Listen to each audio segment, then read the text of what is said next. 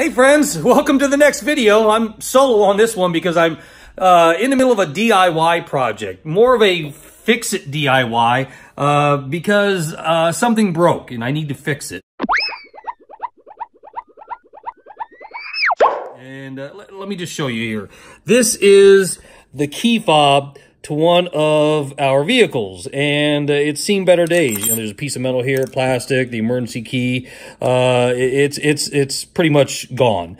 Uh, what, it, what happened, I was driving down the road and I felt something hit my leg and I looked down and this thing's in pieces on the floor and I've, I've, somehow got it back together to the way it is right now. Of course, I had it over here and it was all kind of put back together and I had it taped together with packing tape just so that I can use it um, until I can find a replacement. This is where the interesting part comes because I called the dealership up and I said, hey, look, I got this vehicle, I got a key fob to it, uh, and it fell apart. I don't know how or why, but it's it's in pieces now and I need a new one.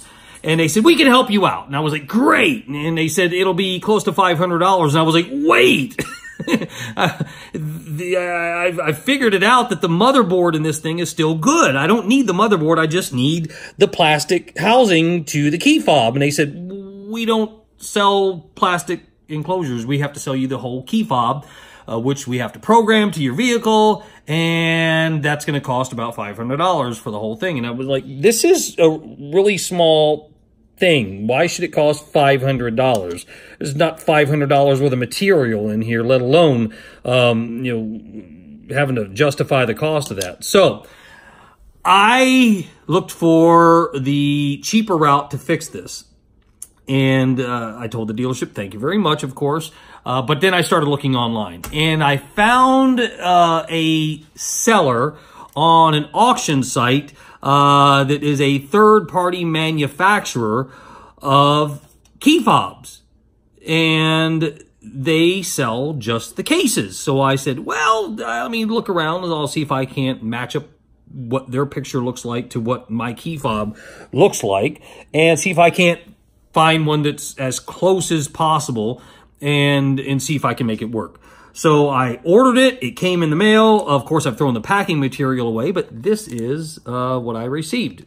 And at first glance, it looks a lot like, like that. Except for that one's in great condition, and this one, not to mention the sticky tape residue that's all over it, but it's in pieces. So I need to figure out how to get what's in there into that. So that's what we're going to be doing today. Okay, so the old key fob, the new key fob, we want to do a transplant of everything that's in here to in there. Well, everything that's needed. Um, obviously, we uh, have this piece of metal here. We don't even know if it fell off or if it, it, it comes apart uh, because when it landed on the floor of the vehicle when I was driving, it, this was completely in pieces. Um, and, and, let me show you something here. Let me take the top off very carefully. Um, this actually goes into this piece right here. And it has a point on one side and a little flat piece here on this side. And um, from what I was able to do when I taped it back together, as I noticed that on this side, um, on the top, it's got little uh, little indent for the point to sit in. And down here, uh, it obviously has some plastic that it's supposed to go into. But all of the plastic is completely shattered on this side. So again, I don't know if it fell off or if it's able to be pulled off. Um, I can tell you that it, there's no screws in this key fob, and I've tried to pull this one off of this one. I can't get it. And then again, I wasn't trying to really hard because I had this thing taped together for quite some time so I could still use it. Um, but I don't need these pieces for sure because they're, they're broken. So I'm going to set these off to the side. I do need to keep this. This is the emergency key specific to my vehicle. Uh, obviously, you don't need this piece of plastic. Um, down over here, um, let me, I'm going to try to save these too. This is uh, buttons that uh, actually has the logo of the vehicle on it. So I'm going to put this off to the side because I want to try to see if I can't use it in this because if you notice inside of this one, there is no logo. We'll take a look at that closer in here in a second. Um, this right here is, uh, it looks like metal. Let me slide off the table here. Um, this is the panic button. You know, you can push it and your horn beeps. Uh, or if you're trying to find your vehicle, you can hit it. Uh, but when you drop it, it, I can't tell if it's plastic uh, sounds like it's uh, uh, really light, thin aluminum. So I'm going to set that off to the side just in case I need to reuse it over there. Um, and the motherboard, uh, I want to be very careful not to touch any of the circuits on here because I don't want to short anything out. Uh, but I assume that you have to take this motherboard out from time to time if you have to replace the battery because uh, when I flipped it over, uh, when it fell out, uh, I noticed that it has one of the button batteries in it, one of the CR2032 batteries, some sort of chip down there. Uh, so I'm gonna, this is the this is the meat and the potatoes of that that key fob right here. So got to protect this. So I'm gonna put that down over here and put this other broken piece off over there. All right, so into the new key fob. All right, let's get the bag open here. Again, found this on an auction site and pennies on the dollar compared to what the dealership wanted to charge me uh, for a whole new key fob uh, when the motherboard still works. Um, I'm not quite sure how to get into here. Again, this doesn't have any screws, but I assume that, uh, again, the sides come off. And in fact, if you can look real closely, I think they did this purposely. Um, kind of hard to see, but it looks like they've left a gap between the piece of metal and the plastic um, that kind of says, hey, I come off. um, based on what I know about this one, it looks like um, the metal uh, flat piece goes in first, uh, or, or the, the pin goes in first, and then it kind of snaps in, if that's the way it works. So uh, this being the bottom of the key fob, I'm going to try to take the new key fob apart from the bottom. I've got a jeweler screwdriver here with a really small uh, flat tip screwdriver on it. Uh, just something I had laying around. Uh, and I'm going to see, it, yeah, it almost fits in there. And I don't want to break it. Come on. You should, ah, oh, what? What? Did it come out? I don't know. Did it come out? It looks like it's coming out. Ah, that's awesome. Look at it. I got the, the back of it out. Oh no, really? It did, it did do that. So the, the tip goes into here and then it slides in with the flat piece there. So kind of the toe and the foot. That's what I'm going to call it. Um, so now I need to get the other side off. I knew it can't be that hard to get into these things. You got to replace the battery. Um, all right, so I got this side off. All right, I need to make sure that I, I don't want to force anything. Come on, come on. You can do it. You can do it. Let me set this down. You can do it. All right. Wait, there's a, oh, no way. All right, so I just noticed something here at the bottom, right over here. Right here, it's kind of hard to see on camera. Let me see if I can get it in there. There's an R. And this was the, if you're looking at the key fob itself, it would be on the right side. So this side should, it does, has an L. You see that? L and R. So if you're taking your key fob apart, you kind of know what side each one of them go to. Left and right. So now we have to figure out how to get into this mamma jamma right here.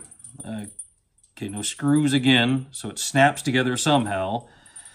Oh boy, I hate prying open plastic because you never know if it's going to snap. Oh, come on. Uh, no. Can't get in there. Oh, go back to this side. I can almost see, no, is that a gap? There's a space in there, but it's really small. All right, I'm going to try very carefully because it looks like this piece overlaps this piece. I don't know if you can see that, but it looks like that top piece overlaps the bottom piece. So it looks like it snaps onto the bottom so that means I can pry off the bottom or pry off the top. See if I can get this in here. Come on, use my hand. Come on, you can do it. You can do it. Uh, if you hear some ringing in the back, that's our little puppies over there. Hi, hi girls. All right. Uh, oh no, I don't want to break this thing. All right, let's see if I can get in here. Ah, ah, Nothing's broken. that was scary. oh, that was really scary because it just came off. I didn't take the key out. Somebody's calling me right now. Um, hold on. I'll be right back. Okay, okay, back to the uh, to the repair here. Uh, this thing came apart way too easy, and I thought that I had snapped some plastic, but I didn't. It all looks good. Um, but I do notice something that this has that the old one didn't have, or I didn't see it. I see like a, a rubber membrane in here, or a silicone membrane in here, and this one didn't have it when I took it apart. But then again, um, it, it could have fallen out of it when the thing shattered into pieces and was laying on the floor of the vehicle. Uh, but uh, needless to say, uh, this looks really good inside, and uh, this is the um, this is the old key uh, that came out of it, and uh, this is just a dummy key. You can see there's no um, uh, cuts into it to make it actually a functional key. So I'm going to hold on to that. Maybe it'll be useful. I, I, don't know. Maybe they can, at some point in time, if I ever have to get a key recut, I can take this one and have a new key recut. I don't know. Maybe it's useful, maybe it's not, but I'll put that into the keep pile. Um, so now we have to see if this membrane comes out. Insert in the membrane! Insert in the brain! All right, it looks like it comes out. And set that off to the side because we know we're going to need that. And we have the back of the buttons and the back of the panic button. It looks a little different. Let's see here. Yeah, well, it's got the little everything there. Uh, this one's got an arrow. This one doesn't have an arrow, but that's okay. All right, so we'll keep that. There's the metal piece that I told you about that was in, let's see, this one.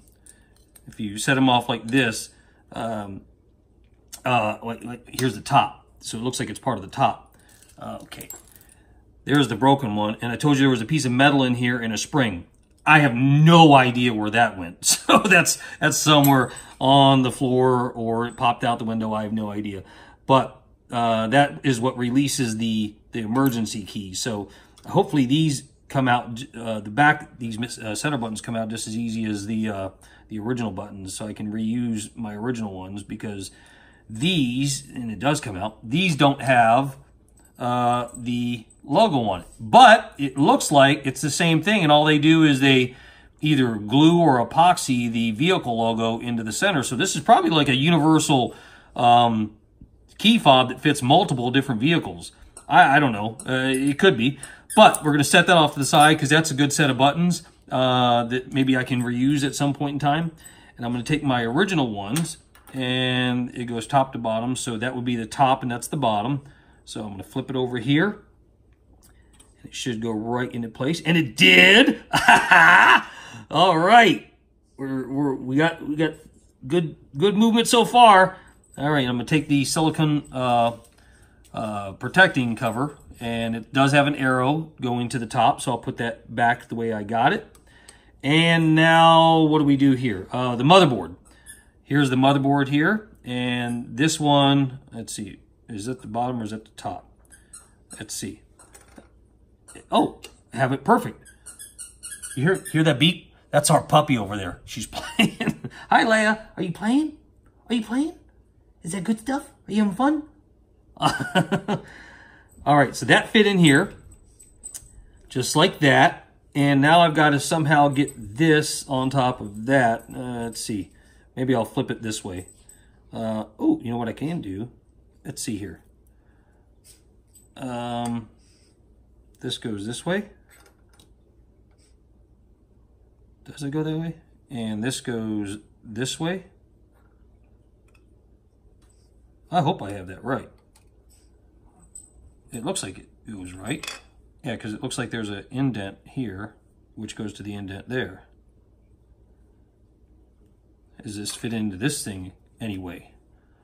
So the button, okay, the battery does go on the bottom because I can see a round piece. I'm trying to get this thing back together, right. Um, you see right there, kind of a round indent down there, and that's where the battery goes. So the battery definitely goes down here. And then take this piece, flip it over, line it up with that little metal thing right there, and carefully squeeze it and it snapped back together. That's awesome. Take a look at that. We're making progress. I like it. I like it. Um, all right. So now I have to get the sides back on. Um, the right side, the left side. This is the right side. Let's see, there's a little hole right there. And put in there. And looks like this snaps in or slides into right there. All right. And we have this piece, which is the left side. And goes in there like that. And put the emergency key in. And if it snaps, we've got a repaired key fob. No way! Take a look at that! That's awesome! so we went from this completely destroyed uh, key fob casing, but the motherboard still worked, to a brand new casing. I reused uh, my original buttons, so I got to retain my, my vehicle logo there. And uh, it looks like everything is in there the way it should. That's amazing. Uh, got to check it out real fast. So let's go out and see if we can at least uh, uh, uh, lock the doors and unlock the doors. So let's go outside. Okay, so we're outside and I have the transplanted repaired key fob and we're in front of the vehicle here and we're gonna see if it works. Let's go ahead and press the button.